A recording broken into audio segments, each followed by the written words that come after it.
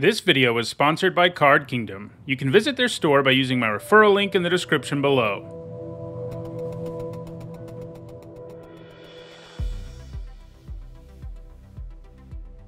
Hi everyone, I'm Nizzahon, and it's time for another MTG Top 10. Most of the time in this series, I look at the best or worst cards in a particular category, but sometimes I like to do lists that are historical retrospectives, where I look at something a little bit different, and that's what we're doing today, with a look at the 10 cards that got banned the fastest. This is actually the second time I'll be doing this topic. I did it the first time in July of 2019, but over the last four years, the list has changed a lot, as many cards have needed to be banned quickly. I'll let you decide whether this is a result of Wizards of the Coast printing too many powerful cards, or the fact that they're just responding more quickly to them, but whatever the reason, this list is very different than it was last time. There are a few ties on the list, so some slots on it have multiple cards, so this isn't quite as impressive as it sounds, but it is still notable that there are seven cards on this list that weren't on it in 2019.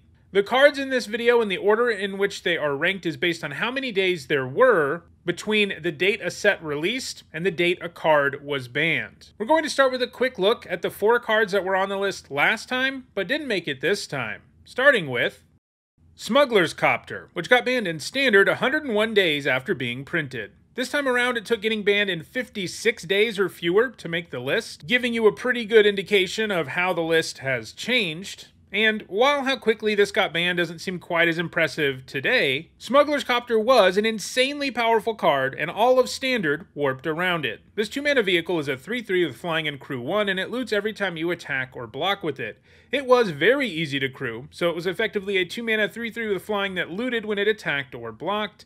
Being a vehicle also meant sorcery speed creature removal could usually not deal with it, so it gave aggro decks a huge leg up against sweepers, and basically, creature based decks was all you could play when the copter was legal in the format because it was just that good. It was inherently powerful, but it got even more of an upgrade in the standard format it was a part of because there were plenty of payoffs for artifacts, vehicles, and discarding cards. On top of all of that, it's also colorless, so you could just jam it into every deck, and that's exactly what happened. This led to it getting banned only 101 days after being printed. There's also Mental Misstep, which got banned in Modern just 94 days after being printed in New Phyrexia. Misstep costs 1 blue Phyrexian mana, which means you can either pay 2 life or 1 blue mana for it, and it can counter a 1 mana spell. While the restriction might seem significant, you'd be surprised how many things Misstep can counter, especially in formats like Modern, Legacy, and Vintage. The fact Misstep costs Phyrexian mana effectively made it colorless and free, too. That makes it kind of like Smuggler's Copter, since it was a powerful card everyone had access to if they wanted to play it, and it was really leading to some boring games of Magic that were often determined by whoever drew the most mental missteps. It was subsequently also banned in Legacy and restricted in Vintage. Next, there's Felidar Guardian, which got banned in standard 92 days after making its debut in Aether Revolt. The Guardian costs 2 generic and a white, it's a 1-4, and when it enters the battlefield it lets you exile a permanent you control and return it to the battlefield. This card may seem fairly unassuming at first, but the big problem is that it was a two-card early game combo alongside Saheeli Rai. Saheeli's minus 2 could make a copy of the Guardian, the Guardian could blink Saheeli, and then when she came back, she could use her minus two again to copy the Guardian, and you can just do that until you have lethal damage. Generally, they don't like putting early game two card combos in standard, and this one snuck right past them, as they would later admit. This is what led to it getting banned so quickly. It also eventually got banned in Pioneer. The last card that is no longer on the list this time is Mishra's Workshop, which got restricted 73 days after being printed in Antiquities. At the time, Magic didn't have formats. Instead, there was just Magic, so at the time it was restricted for all Magic you could play. The Workshop is an insanely powerful land that can tap for 3 mana. Sure, the mana can only be spent on artifact spells, but even in Magic's early days, there were enough powerful artifacts you could accelerate into, and with it around as a full 4 of, artifact heavy decks were going to be a huge part of the metagame.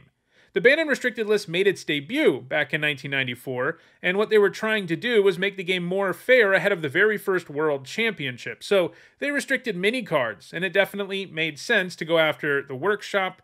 In the long run, it's definitely proved to be one of the most powerful lands in all of Magic, as it powers one of the top decks in Magic's most powerful format, Vintage. But even as quickly as Mishra's Workshop got restricted, it wasn't quite enough to make the list this time. Let's move now to the list itself with our number 10 card, which is actually three cards, all of which are from Antiquities, and they all got restricted 56 days after being printed. Those cards are Candelabra of Tawnos, Feldon's Cane, and Ivory Tower. They all got the axe in one of Magic's earliest banned and restricted announcement, coming about a month ahead of the announcement in which Mishra's workshop was restricted. Unlike the workshop, none of these cards seem overly powerful today, and none of them are currently banned in any formats, but all of them were much better in Magic's early days. The Candelabra is a 1 mana artifact, and you can pay X and tap it to untap that many lands. You might be thinking, hey, it doesn't say tap on the card, and you'd sort of be right, but because it has the now defunct mono artifact type, which at the time meant you had to tap it when you used it and you could only use it once a turn. It has since received an erratum that tapping is just part of the effect. So it does tap today, and it does say it on the card according to Oracle. The Candelabra was too good with super powerful lands like the aforementioned Workshop and Library of Alexandria, so it got restricted.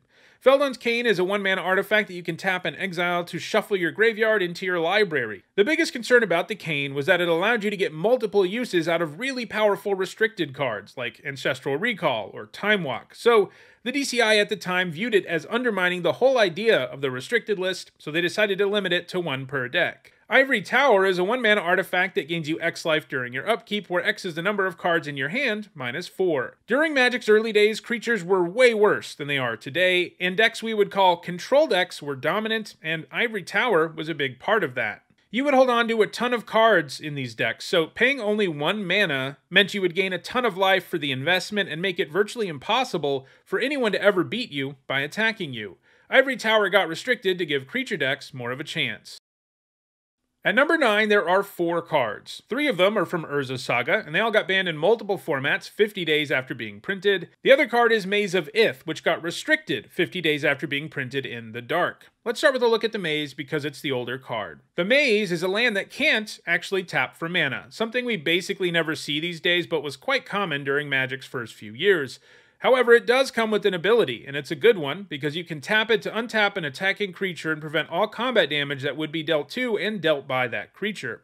This means you can use it to blank an opposing attacker, or use it to save one of your own creatures if combat goes sideways. Like Ivory Tower, this was a card that made life incredibly good for control decks, as it didn't cost any mana to play or use this ability, making it very easy for control decks to just ignore opposing attackers. Now let's take a look at the Urza's Saga cards. Urza's Saga is famously one of Magic's most broken sets, and just looking at these three cards does a pretty good job of indicating that. Tolarian Academy is a land that can produce one blue for every artifact in play when you tap it. Windfall has both players discard their hand and then both players draw cards equal to the largest number of cards that were discarded that way. And Stroke of Genius costs X mana, 2, and a blue, and it's an instant that makes target player draw X cards.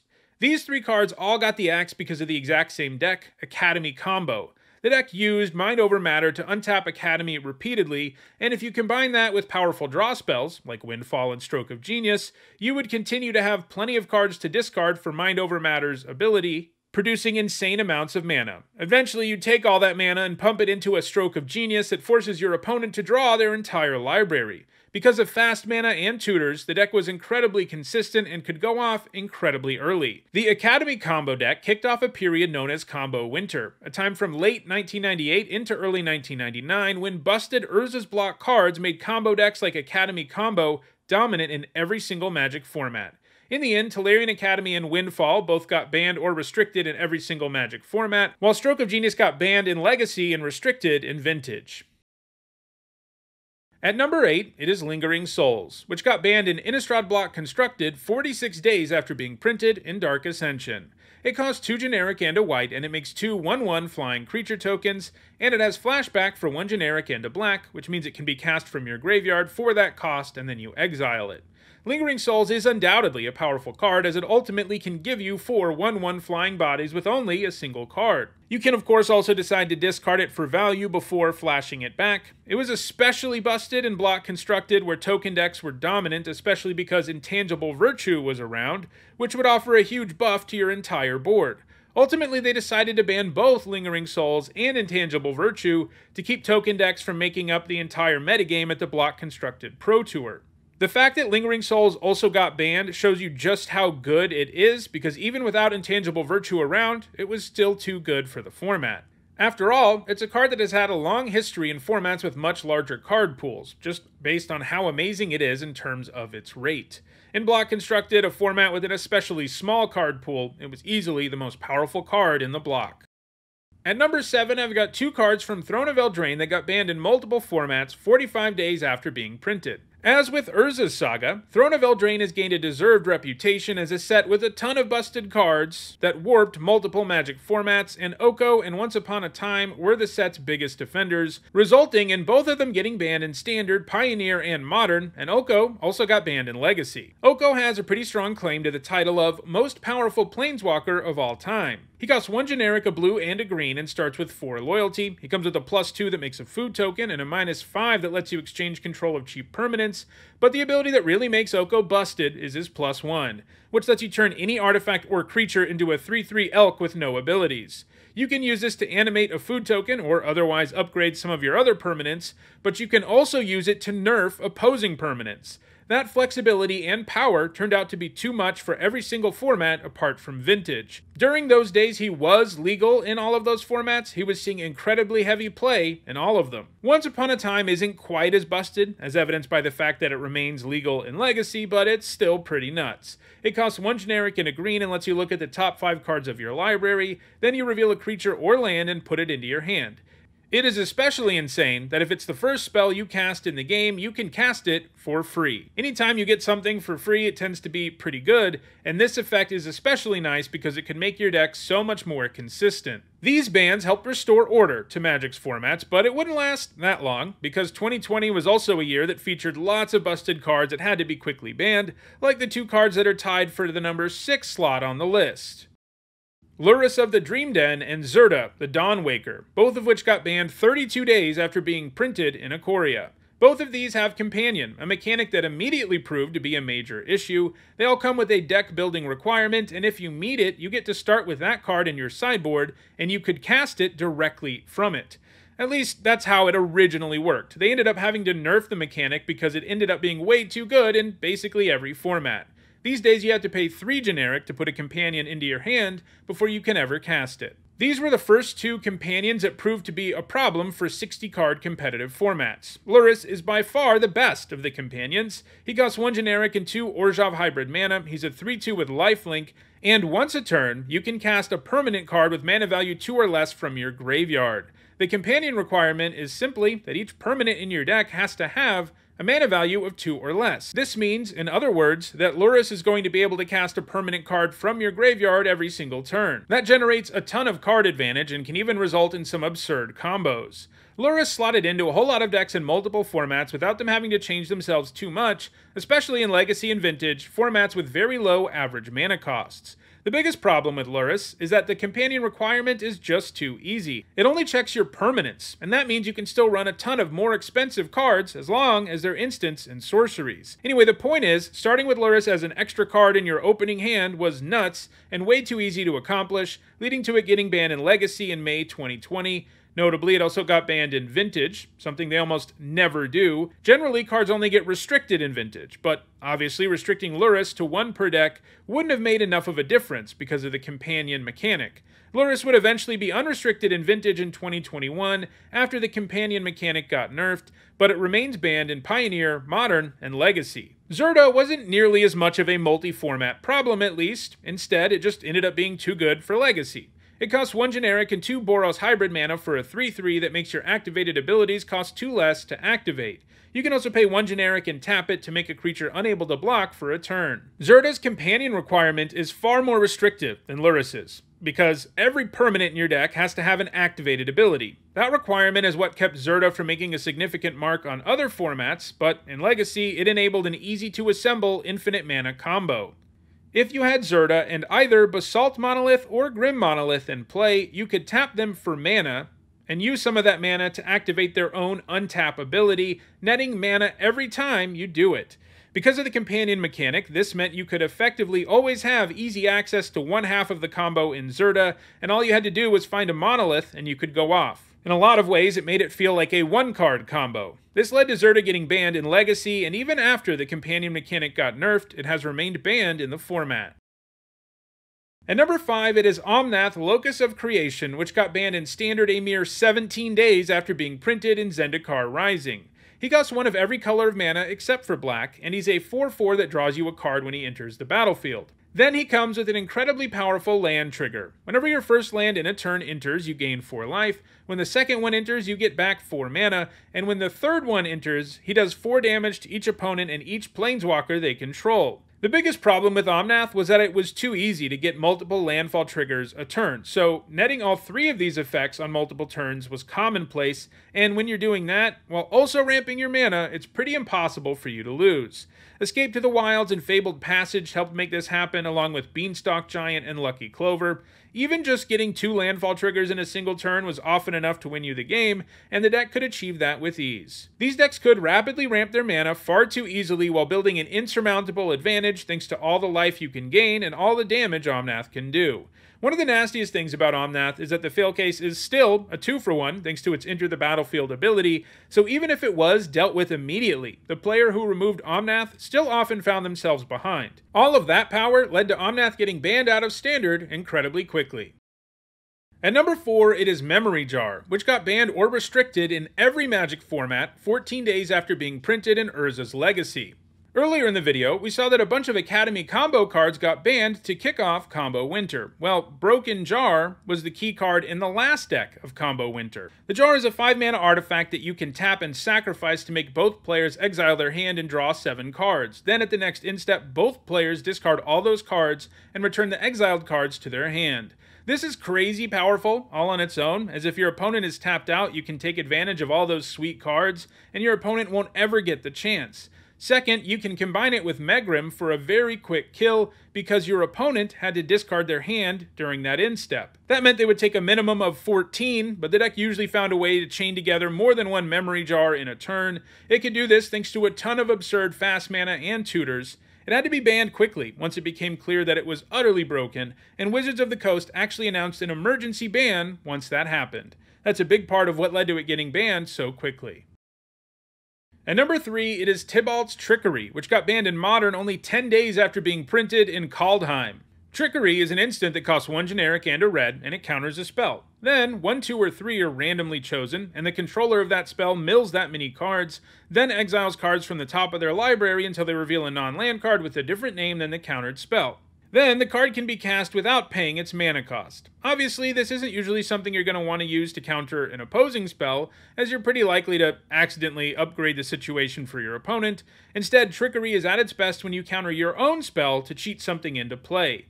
In Modern, this was especially problematic alongside Cascade. If you cast a card with Cascade, like Violent Outburst, you can make sure you always cascaded into Tibalt's Trickery if you didn't have any other cards in your deck that cost less than 3 mana.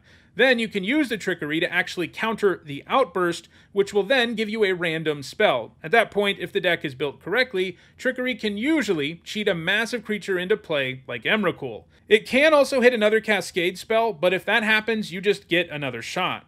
The combo can whiff if you hit another Trickery with a Trickery, but it could be fairly consistent to power out very early Emrakuls. Interestingly, Wizards of the Coast didn't ban this card only because it was good in Modern. Instead, they thought the deck was miserable to play against or with, since the entire game was usually riding on a roll of the dice. The deck probably would be a Tier 1 deck in Modern, but it probably wasn't actually too good for Modern. It was just that they didn't want a deck with a significant metagame share to be this unfun. That's why they quickly banned it. At number 2, it is Mind's Desire, which got banned in Legacy and restricted in Vintage only 6 days after being printed in Scourge.